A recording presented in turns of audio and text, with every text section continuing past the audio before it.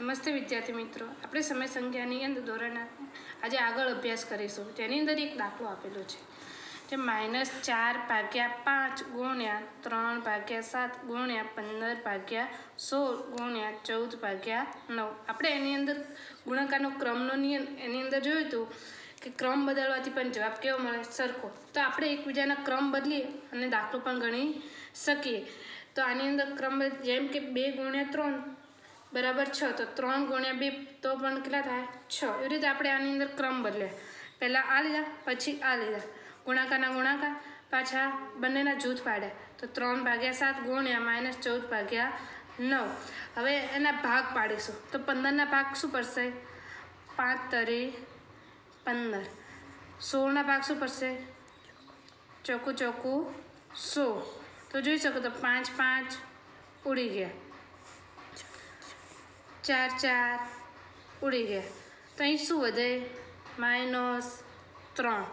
ગુણાકારના ગુણાકાર. અહીં જોઈ શકો સાત દુકેલા થશે. ચૌદ. તો સાત સાત ઉડી ગયા. નવના ત્રણ તરી નવ. તો ત્રણ ત્રણ ઉડી ગયા. અહીં જોઈ શકો અહીં ત્રણ ભાગ્યા કેટલા વધ્યા? ચાર. કૌંસ. ગુણાકારના ગુણાકાર. અહીં શું વધે? બે. ભાગ્યા ત્રણ. આ બે અને આ ભાગાકારમાં ત્રણ અને આ માઇનસ અહીં જોઈ શકું. ત્રણ ત્રણ ઉડી ગયા. પછી અહીં પણ ગુણાકારની ક્રિયા થાય છે અને ભાગાકારમાં એટલે ઉડી જશે. અહીં ચારના ભાગ શું પડશે? બે તો ચાર. બે બે ઉડી ગયા. અને માઇનસ માઇનસ શું થાય? પ્લસ એટલે ઋણ ગુણ્યા ઋણ ધન થશે. એટલે વન બાય ટુ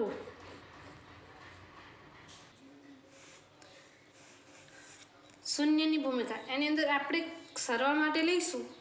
સરળ માટે તટસ્થ સંખ્યા શૂન્ય કહેવાય છે.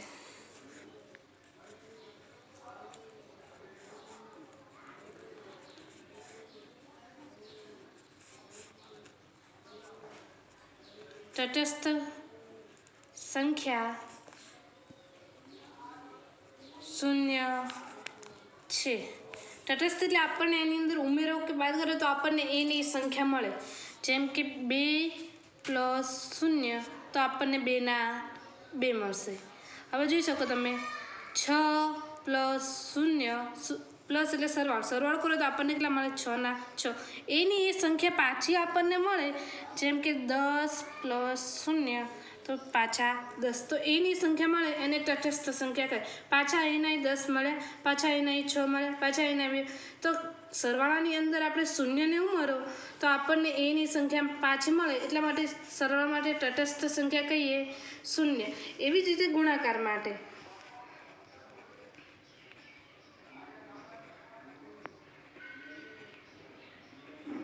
એકની ભૂમિકા. એક. હવે તમે ગુણાકાર કરશો તો આપણને એક વડે ગમે સંખ્યાને ગુણો, તો આ પાછી આપણને એની સંખ્યા મળે છે. એટલે ગુણાકાર માટે ગુણાકાર માટે તટસ્થ સંખ્યા એક કહેવાય છે. તટસ્થ સંખ્યા એક છે. ઉદાહરણ તરીકે તમે જોઈ શકો. માઇનસ એક ગુણ્યા એક. તો એક એકા, એક તો માઇનસ એક પાછા મળ્યા. હવે તમે ધન સંખ્યા વડે ગુણીશું, તો છ એકા, છ તો આપણને છ પ્લસ છ મળશે. હવે આપણે માઇનસ બત્રીસ ગુણ્યા એક. તો બત્રીસ એકા, બત્રીસ આપણને માઇનસ બત્રીસ. ઋણ ગુણ્યા ધન, તો શું આવે? ઋણ. હવે તમે જોઈ શકો. ચોસઠ ગુણ્યા એક, તો બરાબર ચોસઠ. એટલે આપણને સર ગુણાકાર માટે તટસ્થ સંખ્યા ગુણાકાર માટે તટસ્થ સંખ્યા કઈ છે? એક. ગુણાકાર માટે તટસ્થ સંખ્યા એક અને સરવાળા માટે શૂન્ય. જેના દ્વારા આપણે એને આપણને એની સંખ્યા પાછી મળે. જો તમે ગુણાકારની અંદર મળે છે કે નહીં? બધાની અંદર માઇનસ એક, છ માઇનસ બત્રીસ અને ચોસઠ. એના એ મળે છે. એટલા માટે એને તટસ્થ સંખ્યા કહે.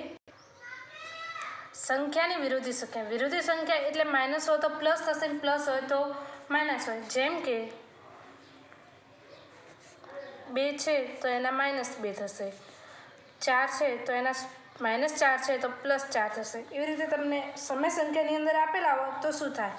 તો સમય સંખ્યાની અંદર જોશો, તો ટુ બાય થ્રી આપેલા હશે, તો એની વિરોધી સંખ્યા થશે માઇનસ ટુ બાય થ્રી હવે એની અંદર તમે એક્ઝામ્પલ આપેલા માઇનસ વિરોધી સંખ્યા એટલે એ સંખ્યામાંથી બંનેનું ક્રિયા કરતાં આપણને શું મળવું? જરૂર હવે જોઈ શકો, તમે અહીં ક્રિયા કરીશું. એક્ઝામ્પલ તરીકે એ ભાગ્યા બી અહીં આપેલું. તો એની વિરોધી સંખ્યા લઈ અને દાખલો ગણવાનો હોય, તો અહીં પ્લસ લઈશું અને એ પ્લસ એ ભાગ્યા બીની વિરોધી સંખ્યા શું થશે? માઇનસ એ ભાગ્યા બી તો એ ભાગ્યા બીના બી માઇનસના માઇનસ એ ભાગ્યા બી હવે જોઈશો અહીં તમે જોઈશો, નીચેની સંખ્યા સમાન છે. લસા કેટલો મળે છે, સરખો મળે એનું ઉપર પણ સરખા છે. તો શું આવશે? એ, આ, એ ભાગ્યા બીમાંથી એ ભાગ્યા બી જાય, તો તમને શું મળે જવાબ? શૂન્ય. એટલે આના માટેની સંખ્યા કઈ આવે છે? સમાન માટે, વિરોધી સંખ્યા માટે? જેમ, તમે જોઈશે. વિરોધી સંખ્યાની અંદર પ્લસ હોય તો માઇનસ થાય માઇનસ હોય તો પ્લસ થાય. એમ આ વ્યસ્ત સંખ્યા. વ્યસ્ત સંખ્યાની અંદર ઉલટું થશે જેમ કે આઠ ભાગ્યા એકવીસ. તો તેની વ્યસ્ત સંખ્યા એકવીસ ભાગ્યા આઠ. તો આ બંનેની ક્રિયા કરતાં જેમ તમે વ્યસ્ત, આની અંદર વ્યસ્ત સંખ્યાની અંદર તો જેમ તમે વ્યસ્ત સંખ્યાની ક્રિયા કરતાં તમને શૂન્ય મળતો હતો એવી રીતે તમે વિરોધી સંખ્યાની અંદર તમે ક્રિયા કરતાં તમને શૂન્ય મળતો હતો એમ તમે વ્યસ્ત સંખ્યાની ક્રિયા કરશો ત્યારે તમને જવાબની અંદર એક મળશે. બંનેની ક્રિયા કરતાં તમને શું મળવું જોઈએ? એક. તેને વ્યસ્ત સંખ્યા કહે છે. હવે તમે જોઈ શકશો. એ ભાગ્યા બી. તેની વ્યસ્ત સંખ્યા.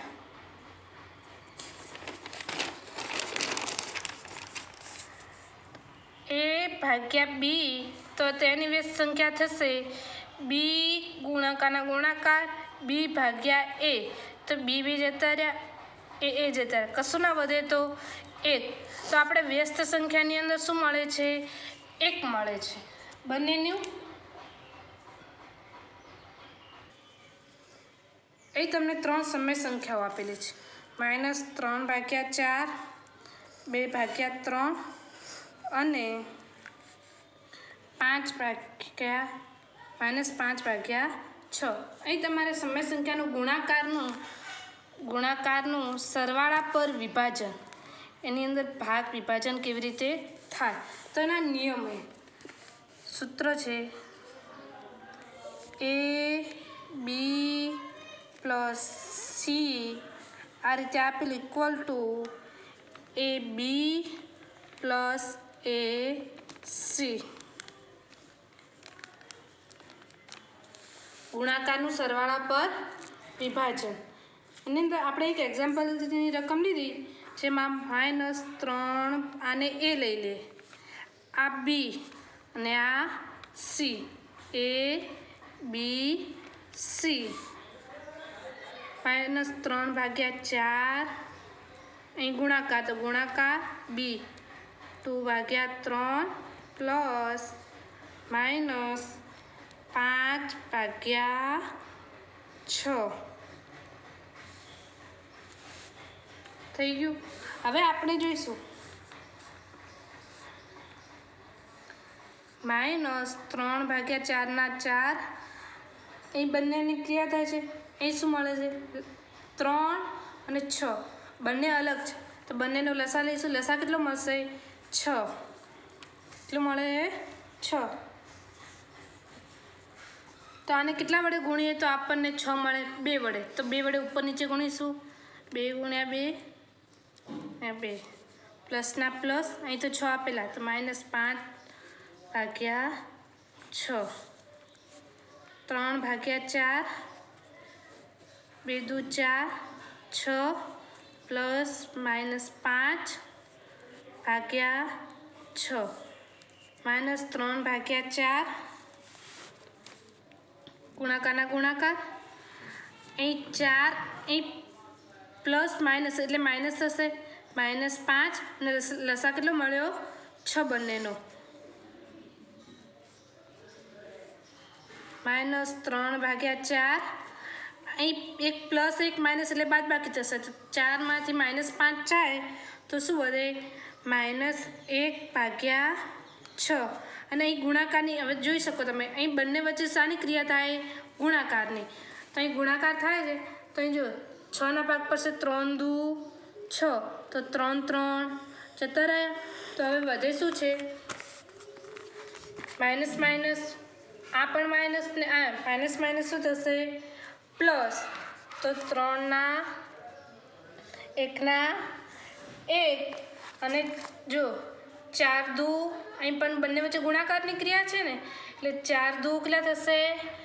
આઠ. તો એક ભાગ્યા આઠ. મળ્યું. હવે આપણે એની બીજી રીત જોઈએ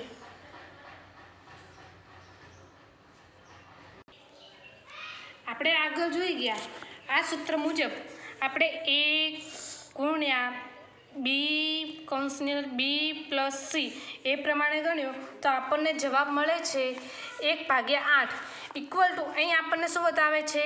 ઇક્વલ ટુ આના બરાબર એક ગુણ્યા બી પ્લસ એ ગુણ્યા સી. એટલે આનો આની અંગાત ગુણાકાર પ્લસના પ્લસ એનો સી અંગાત ગુણાકાર. તો બંને સરખા મળે છે કે નહીં એ જોઈએ આપણને.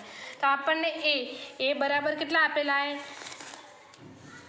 એ બરાબર માઇનસ ત્રણ ભાગ્યા ચાર. એ બંને વચ્ચે ગુણાકાર થાય છે.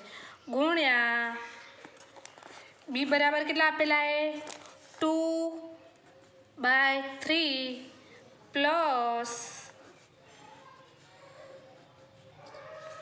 plus A બરાબર પાછા માઇનસ ત્રણ ભાગ્યા ચાર ગુણ્યા સી.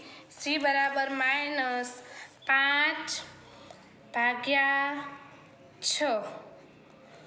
તો તમે જોઈ શકો, આ સૂત્ર પ્રમાણે મૂકી દીધું. હવે આ બંને વચ્ચે શું થાય છે? ક્રિયા, ગુણાકારની. આ બંને વચ્ચે શાની ક્રિયા થાય છે? ગુણાકારની. તો પહેલાં આપણે ગુણાકાર કરીશું. તો જોઈ શકો, ત્રણ ત્રણ ઉડી ગયા. અહીં જોઈ શકો, ચાર, બે, દુ, ચાર. બે બે ઉડી ગયા. તો એ શું હશે? Minus one by two. Minus one by two plus અહીં જોઈ શકો.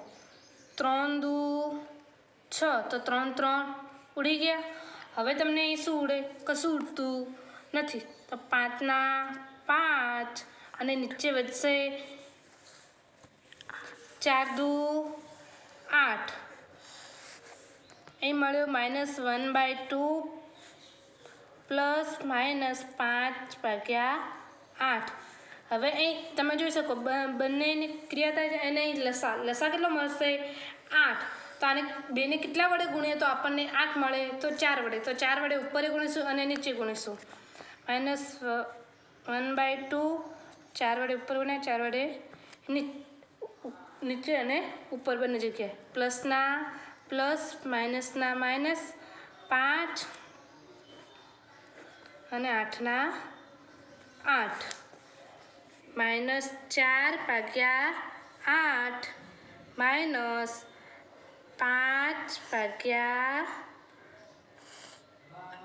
માઇનસ પાંચ ભાગ્યા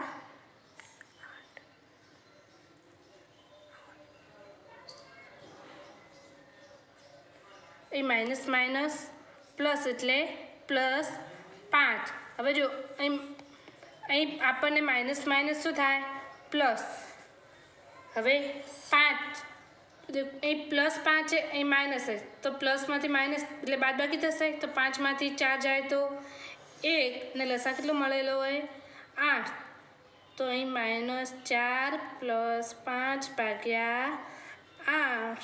તો એક, એ બાદ બાકી થશે, પાંચમાંથી ચાર જાય તો એક ભાગ્યા આઠના આઠ.